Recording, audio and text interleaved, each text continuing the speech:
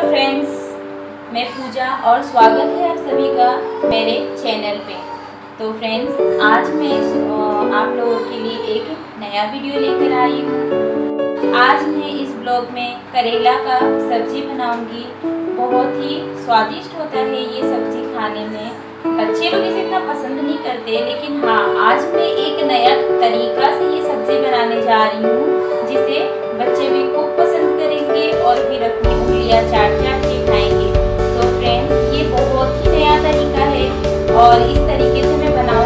आप सबको बहुत पसंद आए। तो चलिए स्टार्ट करते हैं ये सब्ज़ी बनाना।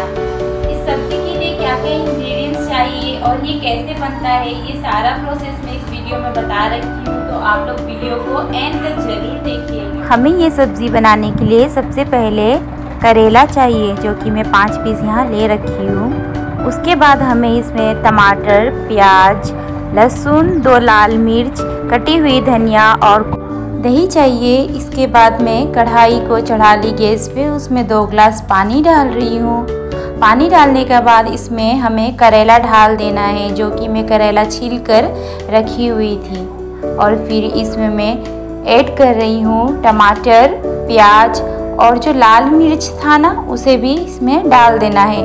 इसके बाद हमें इसे पाँच मिनट तक पानी में उबालना है। आप देख सकते हो मेरा यहाँ पे करेला उबल चुका है। मसाला में हमें चाहिए धनिया गोल मिर्च जीरा लहसुन और थोड़ी सी गरम मसाला का पाउडर। अब यहाँ पे जो मे, मेरा उबल गया था अब उसमें से मैं टमाटर थोड़ी सी प्याज लहसुन की कलिया और बाकी मसाला को लेकर मैं अच्छी तरह से ग्राइंड कर लूँगी। यहाँ मैं प्याज काट ली और जो करेला था उसे भी काट ली। मैं मसाला ग्राइंड कर ली थी उसमें मैं ऐड कर रही हूँ दही। दही डालकर इसे अच्छा तरीक़ा से मैं इसको मिक्स कर दूँगी। ऐड करूँगी स्वाद अनुसार नमक, थोड़ा सा हल्दी और फिर इसे अच्छा तरीक़ा से मिक्स कर लेना है। यहाँ मेरा कढ़ाई हो गया है गरम। अब मैं इसमें डालूँगी तेल, तेज़पत्ता और फ़ौरन डालकर प्याज को अच्छी तरह से भून लूँगी। उसके बाद मैं इसमें करेला भी डालकर भून लूँगी। और ये तब तक भूनना है जब तक लाल ना हो जाए। लाल होने के बाद इसमें मैं जो मसाला बनाई थी, वो मसाला को इसमें डालकर और अच्छी तरह, तरीक़ा से इसे चला लेना है। 10 मिनट चलाने के बाद मेरा मसाला सूख गया था और अब इसमें मैं ऐड करने जा रही हूँ मसाला का थोड़ा पानी।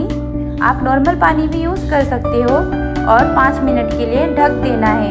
ढकने के बाद मैं इसमें ऐड करी कटी हुई धनिया का पत्ता। जैसे कि आप देख सकते हो। फिर मैं थोड़ा सा कार्ड और शुगर ली, उसे मिक्स कर दी और उसमें थोड़ा सा पानी भी ऐड कर ली। उसके बाद इसे मैं सब्ज़ी में डाल दूँगी। तो इससे क्या होता है, खट्टा और मीठा वाला एक फ्लेवर आ जाता है और बहुत ही अच्छा लगता है। अब मैं इसमें ऐड कर रही हूँ सब्ज़ी मसाला। आप चाहे तो मीट मसाला या चिकन मसाला या मैगी मसाला भी ऐड कर सकते हो। यहाँ पे मैं सब्ज़ी मसाला ऐड करी थी। और मेरा सब्ज़ी हो गया है रेडी जैसे कि आप देख सकते हो।